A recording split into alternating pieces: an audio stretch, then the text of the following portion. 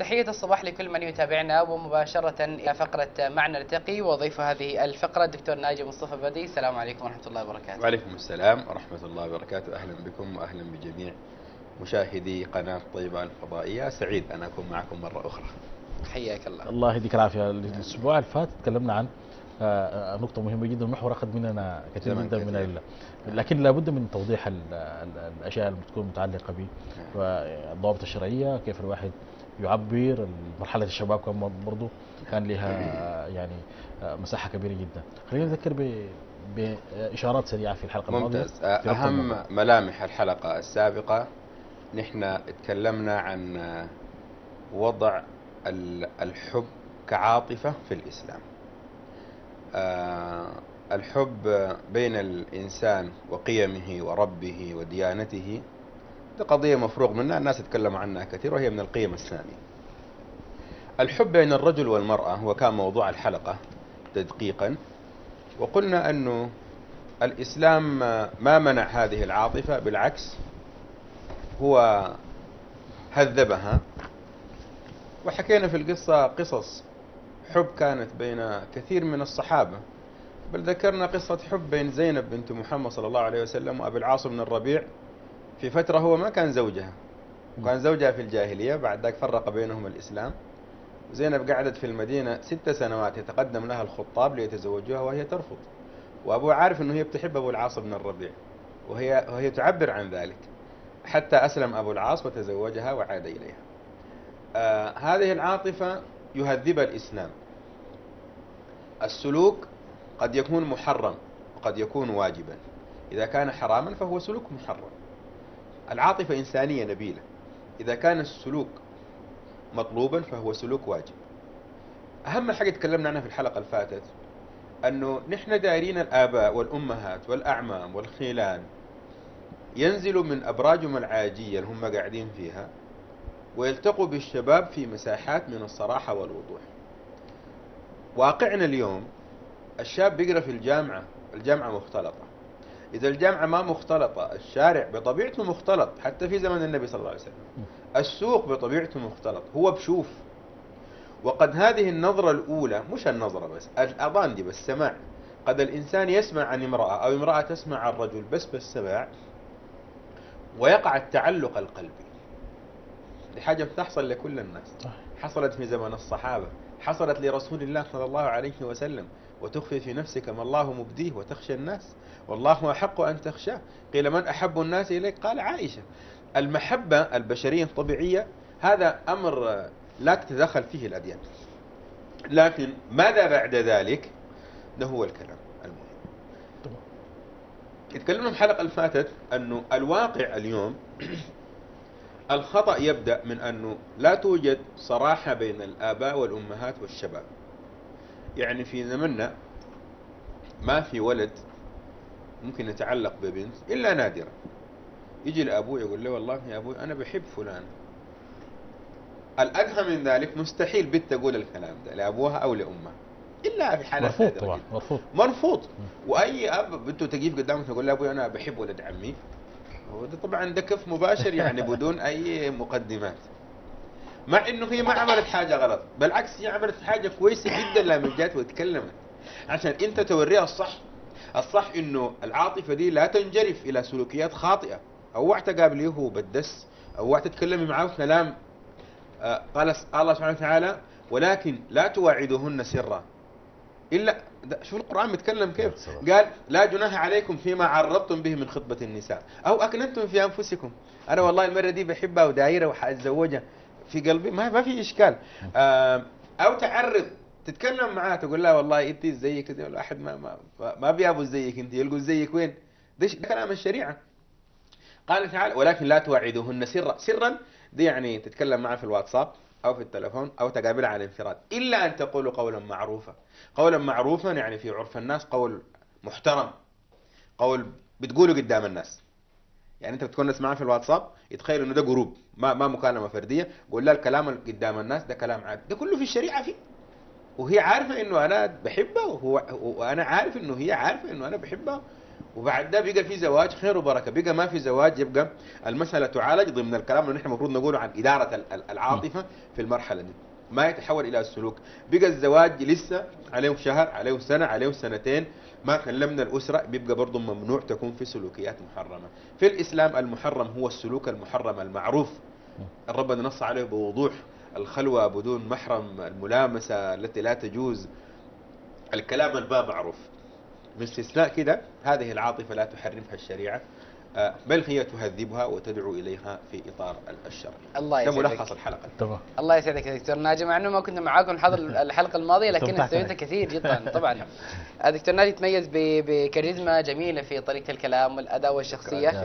فنبدأ مباشرة في آه، مباشرة من العاطفة اللي بنتكلم عنها اللي إدارة العاطفة. الكثير من الناس الآن آه، بيعانوا من آه، عدم إدارة العاطفة بصورة جيدة. نعم.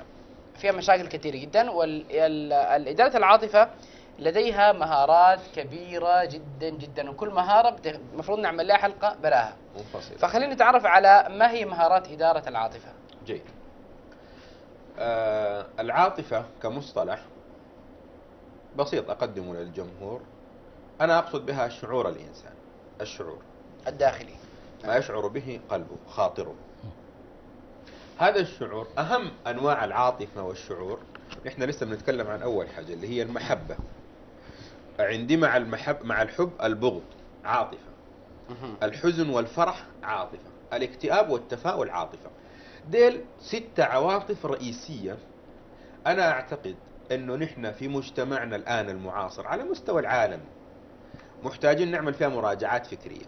ومفروض المثقفين والخطباء والدعاة والمنابر الإعلامية تقدم للناس فيها رؤية رؤية جديدة. على غرار ما تكلمنا عن مسألة الحب بين ال- الجنسين وما إلى ذلك. لما نتكلم عن إدارة العاطفة حنتكلم عن إدارة العاطفة في ستة نواحي. اللي أنا ذكرتها الآن. الحب والبغض الفرح والحزن التفاؤل. والاكتئاب. نعم.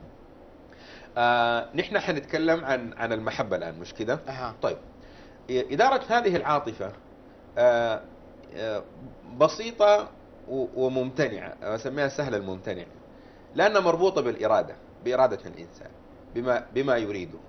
وأنا بقول دائما وقلت في حلقات سابقة الإنسان يصنع ما يريد.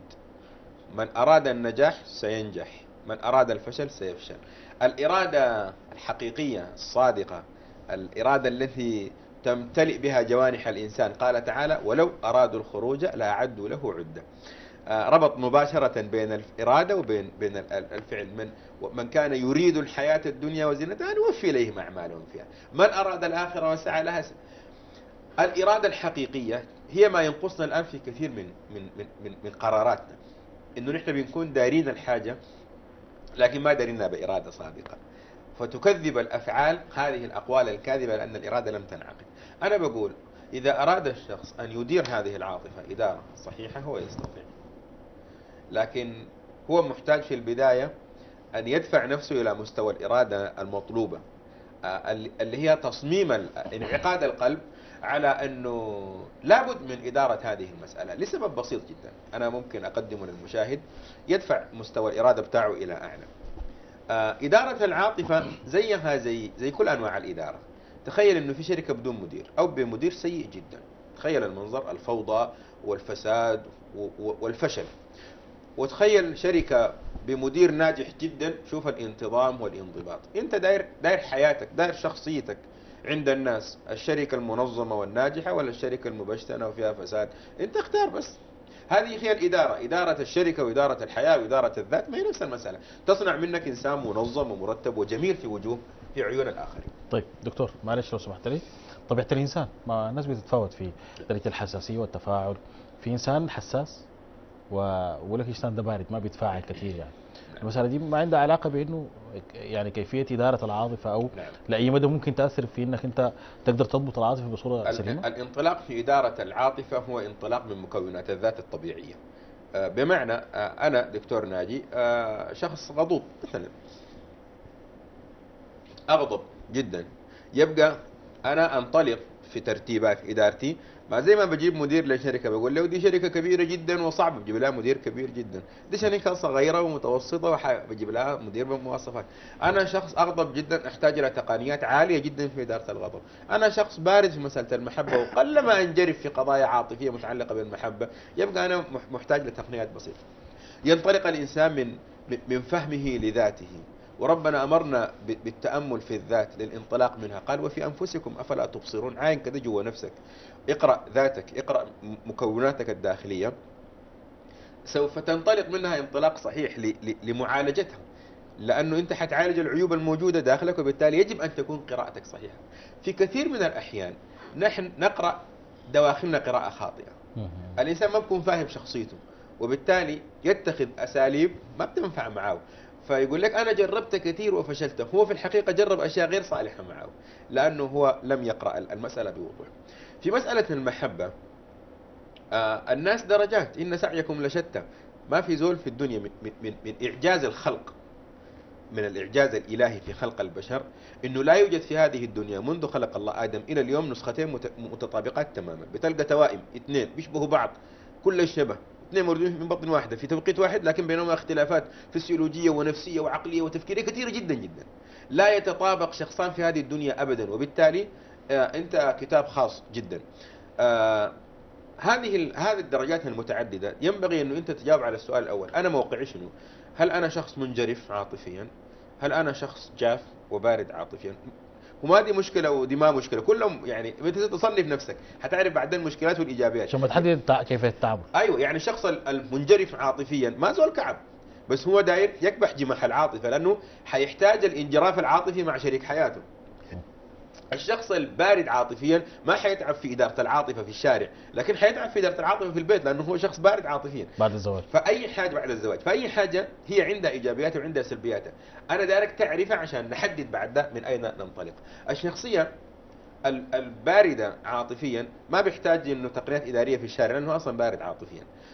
لكن آه لو تكلمنا في حلقات أخرى عن إدارة العاطفة داخل البيت ده موضوع ثاني الشخص المنجرف عاطفيا اللي إحنا بنسموه زول مرهف الإحساس آه بالسودان بيسموه زول حبيب. آه يعني هو بس يعشق كل جميل. ودي الناس كتار وأغلبهم الناس البصريين النمط التمثيلي بصري أكثر من الناس الحسيين والسمعيين. البصري لأنه هو متأثر بما يرى ومتأثر بالصورة فبتعجب الصورة الجميلة طوالي ويتعلق بالصورة. الشخص البصري المتعلق بالصور ده شخص منجرف عاطفيا. القرآن عالج المسألة قال قل للمؤمنين يغضوا من أبصارهم. قفل لك الباب من البداية. وقل للمؤمنين يغضوا من أبصارهم. ده ما علاج للزول البصري أصلا. آه ما تعاين آه وحتشوف حاجة وحتعجبك. القفلة الأولى إنه أنت الشيطان بيجيك بيقول لك كده عاين عشان تتأكد. هي سمحة ولا ما سمحة؟ كده بس أنت عاين شوف. ما يمكن سماحتها دي ما تقوم تعاين ثاني بعد شوية بتبدأ تشتاق. يا سلام يا كده عاين والله جمال جمال جميل بيريح النفس. ويبدأ الشيطان بيسته... يستدرجك في هذا الأمر. حتى تصل مرحلة من العشق الذي لا يمكن أنك أنت تصبر عليه وتبدأ ت... تنزلق في في منزلقات أخرى. آه، دائما آه، القرآن نبهنا لمسألة نحن في التنمية البشرية بعد ذاك تكلمنا عنها. آه، أنا بقول لو في زول داير يسرق قروش مثلا. آه، وخطط فكر إنه يسرق القروش من الزول. شاف القروش دي وعجبته وكذا وقال يسرقها. وفكر وخطط ورتب واستعان بآخرين وجاء وبعد ذاك جاب له حاجات ومشى وسرق ال- ال- ال- القروش دي وقبضوه وودوه القسم المحكمة قطعوا يده. السؤال في الحقيقة متى قطع هذا الرجل يده؟ قطع لا من فكر إنه يسرق. هناك مش لا من قبضوه. يعني ما الشرطه السبب ولا انه من الفكرة. من الفكرة الأولى. هو الفكرة الأولى شوف الفكرة الأولى حر- محاربتها كانت سهلة جدا. أنه أنه أنه يلغي الفكرة دي يفكر في حاجة ثانية يصرفها كان حاجة سهلة. أسهل من أنك أنت بعد ما جو حكم يقدر ت- ترشي ال- ال- القاضي ولا ولا تهرب من السجن ولا تعمل معالجات ما بتتعالج ما خلاص المسألة بقت بقت الآن صعبة ده ده هو الوضع الطبيعي اللي ربنا نبهنا عنه قال ولا تتبعوا خطوات الشيطان ولا ت- مرتين في الم- في المصحف الشريف لأنه هو يستدرجك خطوة خطوة وبتغرق في المسألة أكثر فأكثر. القرآن كان واضح قال لك غض البصر من البداية. آه تجاوزت في هذه المسألة ما في مشكلة، الحل بيبقى أصعب لكن بيبقى ممكن برضه ما, ما صعب. آه النظرة تولد التعلق ال- القلبي. كما أن تكرار السماع والتفكير يولد التعلق القلبي. دي ثلاثة حاجات سهلة جدا، ما تسمع، ما تعاين، ما تفكر. بسهولة إنه أنت تتحكم عليها في بداياتها.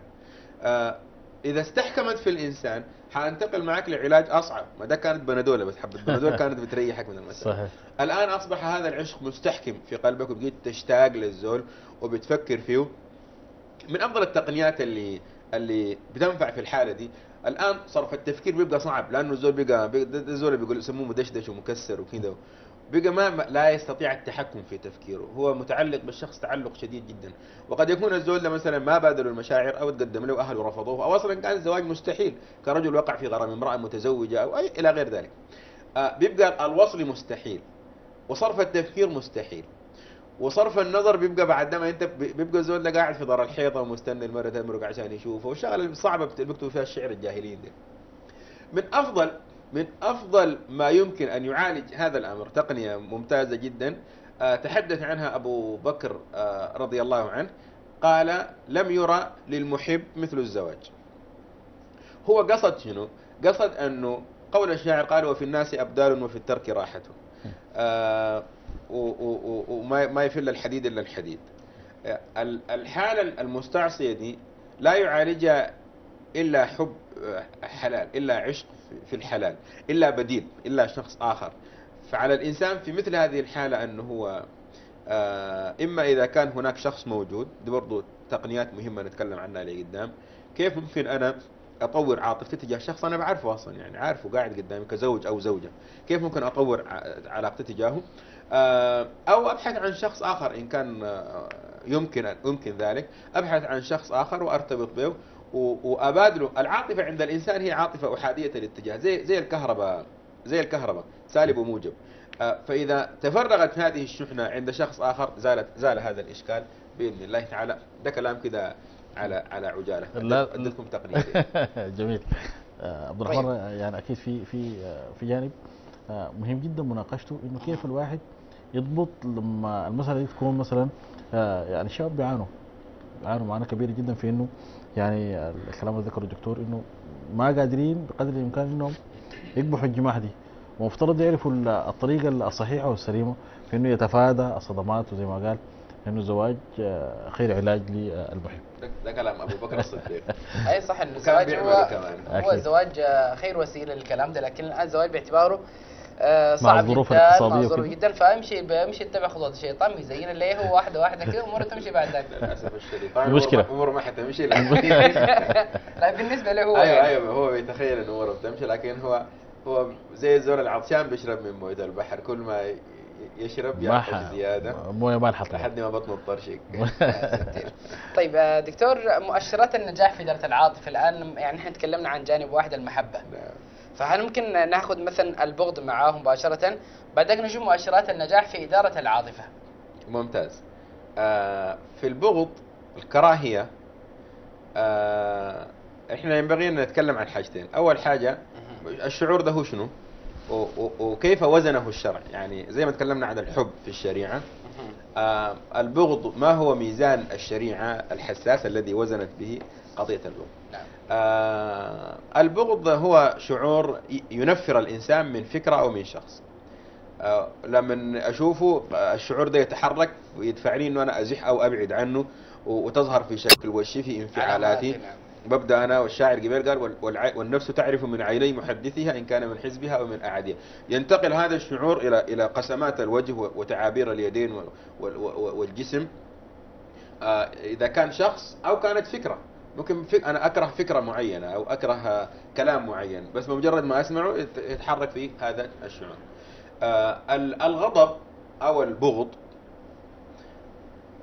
آه، هو في حد ذاته شعور إنساني برضه وشعور نبيل. يعني الناس بيفتكروا ال- ال- البغض ده حاجة بغيضة. لا هو ما حاجة بغيضة. هو هو شعور وشعور كل المشاعر الإنسانية مشاعر نبيلة. بيكون عنده سبب لكن يا دكتور. نعم يهذبها الإسلام يهذبها الإسلام. أس أسبابه كثيرة جدا. اسبابه كثيرة لكن جاء الإسلام قال أنا أعترف بنوعين من البغض. بغض جبلي بغض جبلي يعني فطري طبيعي. آه آه وخلق مع الإنسان. ما عنده علاقة بال- بال- بال- بالفضيلة والحق وال- والباطل. حاجات آه، طبيعية أنا ما بحبها ما بحبها. مثلا أكلة معينة أنا ما بحبها. أنا أنا ابغضها آه، عرف اجتماعي معين ما خطأ لكن أنا أبغضه ما ما بحبه. الأشياء الطبيعية. آه، أنا أبغض الأماكن المرتفعة والأماكن المنخفضة أو الم- المسطحات ما المائية. مريحة بالنسبة لي. الحاجات الطبيعية الجبلية ال- ال- التي خلق الله الإنسان عليها. البغض في الحق. أنه أنا أبغض الباطل. ودي عبادة. آه، عبادة أمر بها القرآن وأمرت آه، بها السنة. تقول عائشة ما غضب رسول الله لنفسه قط إلا لله ولرسوله إلا لله. فهو يغضب لله. إذا انتهكت محارم الله سبحانه وتعالى هو يبغض هذا الشيء و... و... ولا يحبه. دي, الحاجتين. ثاني ما في شيء. دعنا الغضب. عن طيب لا. الت- التعبير التعبير. هذا هذا هو البغض. ثاني ما عندي. ما عندي بغض في الشريعة معتبر. كثير من الناس حس زول يقول لك أنا والله زول ده ما بريده في الله. طبعا ما ممكن تكون عدم الرضا في الله يعني ده ذاته افتئات على الله سبحانه وتعالى. يقول لك ما ما بريده لله ساجد ما عندها علاقة بالله طبعا المحبة في الله لكن زول بتبغضه في الله معناته تبغضه لمعصية معينة. لكن انت بتقول ما عارف أنا ما عارف بس ليه الله؟ إذا ما ليه الله دي في حاجة لا- في سبب في سبب نعم. في سبب. آه الإشكال أنه الآن واقع الناس أنه البغض موظف وظيفة فاسدة مع الحسد. يعني آه أضرب لكم مثال. أحيانا نحن تختلط المشاعر الحسد والبغض والغضب الثلاثة مشاعر السالبة دي. آه هي هي بتجتمع بتكون نبت سرطاني داخل كثير جدا من الناس. بدون ما يشعر بتلقاه هو كيس مليان بال بال ال- بال- بالحسد والبغض والغضب. وامبارح أنا قاعد في بيت المرأة آه، ضربت لها اختها فقالت لها مشينا زرنا فلانة قريبتهم. بيتهم ورتنا الدور الثاني بتاعهم جاتنا نفسيات عديل. فأنا علقتها لأنه ده موقف سالب عشان الفكرة السالبه ما تترسب فيها هي قاعد تحكي للناس إنه أختها قالت لها مشينا بيت فلانة قريبتهم ورتنا البيت بتاعه وجاتنا نفسيات. فأنا علقتها قلت وتجا نفسيات ليه شنو؟ هي الزول لما يشوف حاجة سمحة بتاعت أخوه المفروض يفرح وينبسط. يا و- سلام. تجيه يعني يعني يشعر بسعادة بس هو مش تجيه نفسيات ويتعقد ليه؟ عشان شنو؟ دي دي هي هذا الحسد هذا الحسد الرسول لما قال الحالقة التي تحلق ال- الدين لها الحسد هذا الحسد لا لا يتكون في الإنسان إلا بعد مراحل من السالب من, من الشعور السالب اللي هي ال- البغض والغضب. آه، بغض الإنسان إنك تبغض له الخير تكرهه ما داير يمشي لقدام. هذا الحسد ذاته. شوف كيف تطور ال- البغض السالب إلى حسد. لا من تجي تداوي الحسد من من, من- من رأسه ده رأس الحية. يزيل معه كل هذه الآثار آه، الجانبة. أقول اختصارا الغضب لله ولرسوله غضب جميل. إذا انتهكت محارم الله سبحانه وتعالى. غير هذا الغضب الموجود داخل الإنسان ال- البغض يتحول يتدرج ويصبح حسدا. أي زول لقيت في نفسك إنك بتحسد زول على نعمة ربنا اداها له وتتمنى زوال النعمة دي آه انت اوك عندك خطوات كثيرة اتزحلقت مشيت لقدام من بدري انت المفروض نرجع معاك لورا ثلاثة خطوات. انت زول ده ما بتريده ليه أصلا؟ بتقول لا أنا بريده بقول لك لا أنت ما بتريده. ما أنت لو كنت بتحبه ما كنت بتحسده. يعني ما بزول بيحسد ولده. ليه؟ ما لأنه بيحبه بس لأنه و- والشخص الوحيد اللي دايره يطلع أفضل يطلع أحسن منه. صحيح. لأنه أنت ما ممكن تكرهه. آه عشان كذا أنا أقول الحسد مبني على مبني على البغض. ده البغض ال... وده المؤشر بتاع القراية بتاعي. يعني أي زول داير يعرف هو آه عنده بغض آه البغض ده عبادة يا جماعة إذا صرفت لله. عندك بغض فاسد ما عبادة شوف الزول ده أنت بتحسده ولا ما بتحسده؟ لو حس حصلت له نعمة ولا جاته عربية ولا بقى وزير ولا جابوا له عمارة ولا عملوا له أي حاجة ح- حتزعل وتتضايق إذا أنت تبغض هذا الشخص وهذا بغض ليس ليس, ليس آه، في سبيل الله. وهذا من البغض الذي ينسف الحسنات والحسد الذي يحلق الدين كما قال صلى الله عليه وسلم. عليه الصلاة والسلام. طبعا في نقطة مهمة جدا آه، دكتور ناجي آه، من نفس من, من كلامك ده بيدل على إنه الغضب والبغض والحسد يعني بيأثر سلبا على الشخص نفسه. يعني هو هو اللي بيتضايق في الآخر هو اللي بيزعل هو جايب له خبر. هو جايب له خبر. هي دي المشكلة هنا. يعني الواحد لو فرح لزول تاني وانبسط معاه. بالعكس السياسة تتغير حتى لو كانت يعني كان شايل هم الدنيا كلها. نعم. لكن ما بيقدر يفهم كلام زي ده يقول, ونادرا. يقول أحد الحكماء ما رأيت أعدل من الحسد. بدأ بصاحبه فقتله. يعني هو جيد. نعم. طيب يا دكتور آه نحن كيف ممكن آه نكلم الناس أو المتابعين الآن ونقول لهم نحن بطرق معينة ممكن تقلل آه عاطفة الغضب أو البغض أو الحسد من شخص آخر. يعني الآن في ناس الآن عندهم ال- ال- الحياة دي. فطبعا كيف ممكن اقللها شوية شوية شوية شوية باتباع خطوات معينة؟ ممتاز. جزاك الله خير. أنا أربط آه، آه، إجابة السؤال ده آه، أربط القضية دي بتحريك عاطفة ثانية. آه، في عاطفة اسمها عاطفة التفاؤل.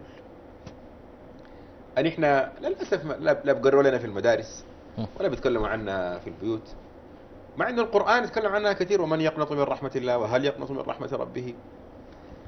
لكن ما ما قاعد يورون ما قاعد يقرونا لها وتكتيكاتها شنو؟ علاج الحسد هو في تحفيز عاطفة التفاؤل. ما ما معنى التفاؤل؟ التفاؤل يعني يعني اع- اعتقد اعتقادا جازما إنه الله حيديك إنه أمورك ماشية لقدام. ما تكتئب. لا تقنط لا تيأس. أنت كويس. آه وربنا طيب دار تتأكد؟ كده اقيف دقيقة. أرجع معايا لورا. شوف ربنا اداك كم حاجة قبل كده. يا أخي جيب ورقة وقلم. أكتب كده أكتب. النعم اللي ربنا أداك لها أبدأ بالعينين والكرعين واللسان والشفتين والزوجة والمال والعرب وأكتب أكتب أكتب. وكده أقرأ الورقة دي. شوف ربنا أداك. في اتصال كويس. وانت ما محتاج إنه أنت تعاين للناس. عشان تقفل الباب ده ربنا في القرآن والله يا اخوانا القرآن ده أنا كل ما أقرأه أحس ب... بأنه إحنا مقصرين جدا في فهمه.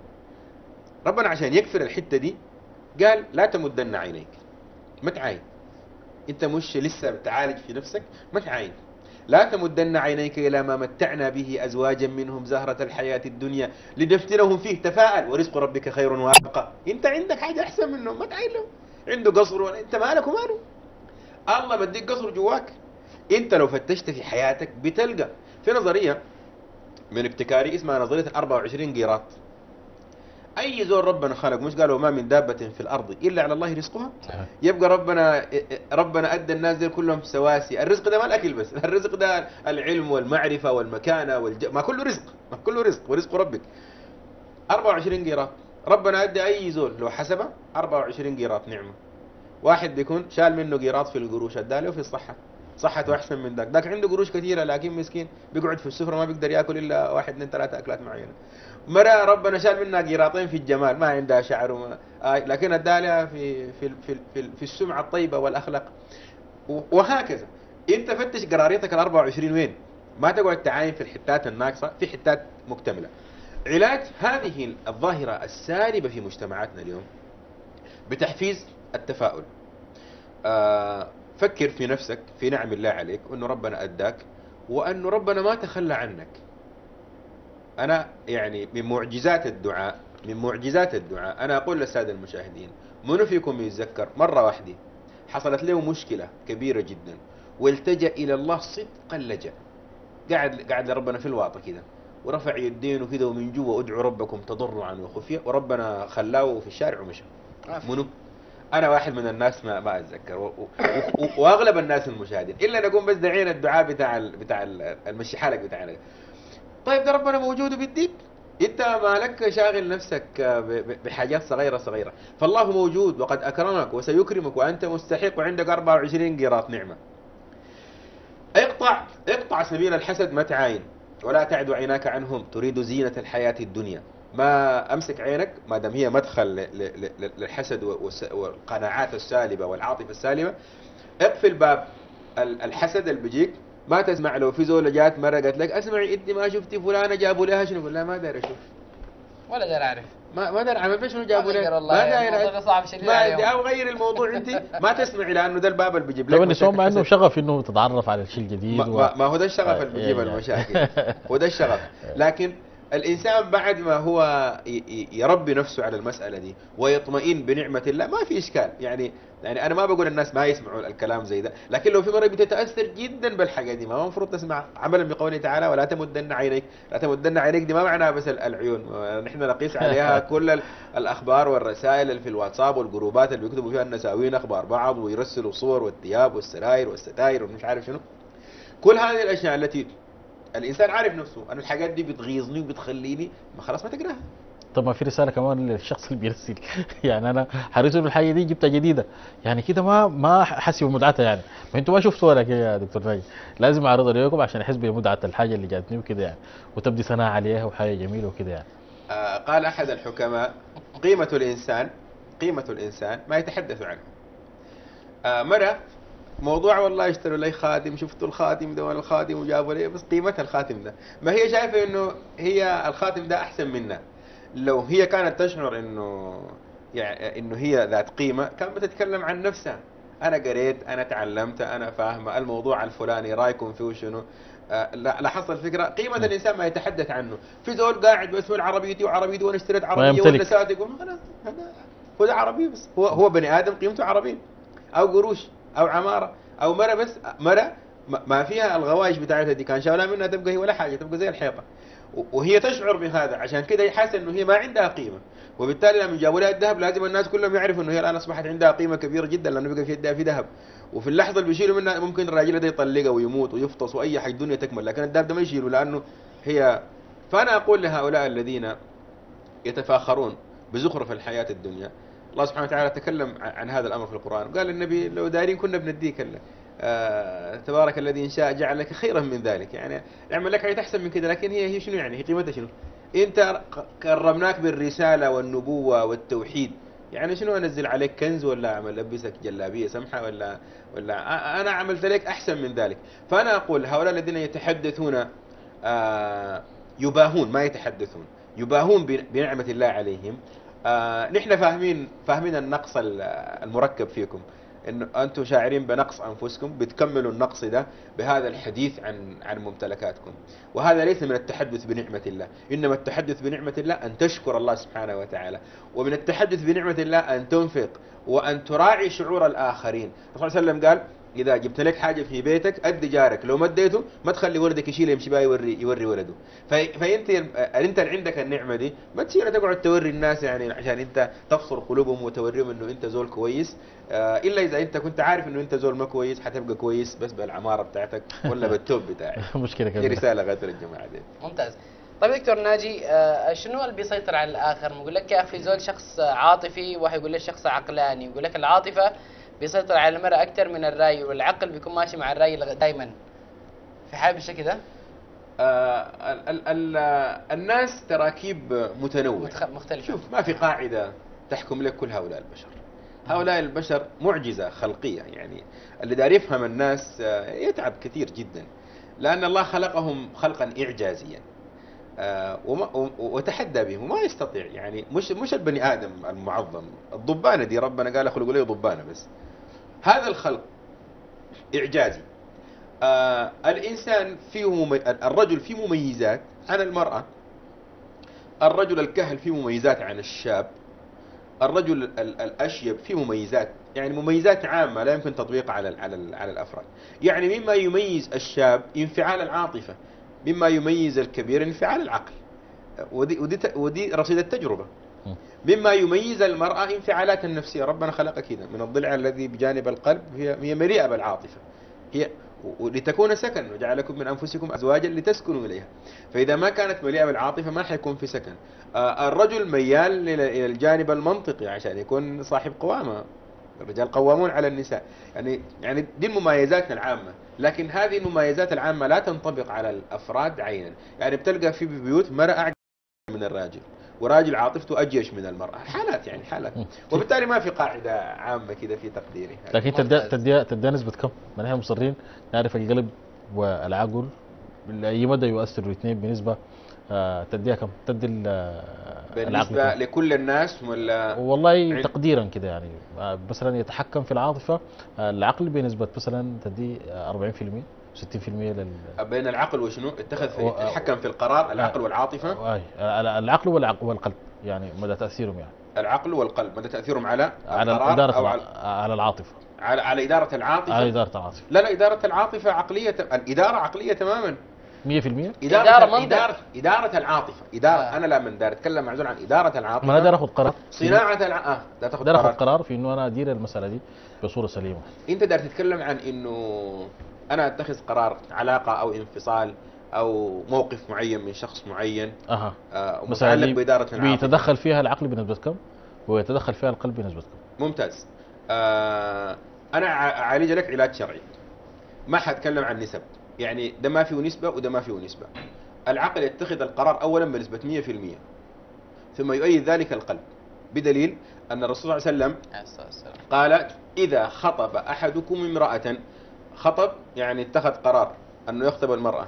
قال فلينظر إليها فإنه أحرى أن يؤدم بينهما.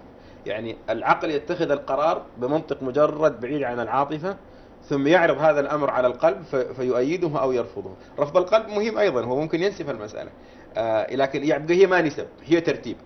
العقل يتخذ القرار اولا. حق الفيتو عند القلب. بس يا اي ديانه بس بالت- بالترتيب كذا. بالترتيب فوق تحت الله يديك العافيه لك التحيه دكتور ناجي. مصطفى بدوي الاستاذ الجامعي ونحن بكذا وصلنا لنهاية فقرة اليوم مع نلتقي. سعدنا بك جدا في إدارة العاطفة. يمكن لسه في آه، نقاط آه، عديدة مختلفة لكن باعتبار نحن الآن كفينا وفينا شاء الله. آه، بأجزاء معينه ما زال الحزن والفرح والاكتئاب معنا. ومهمين جدا. بمشيئة الله تعالى بإذن الله نشوف الحلقة الجاية نواصل فيها. إن شاء الله. نعم إن الله. ملخص كذا بسيط بإذن الله. شكرا لك. شكرا لكم.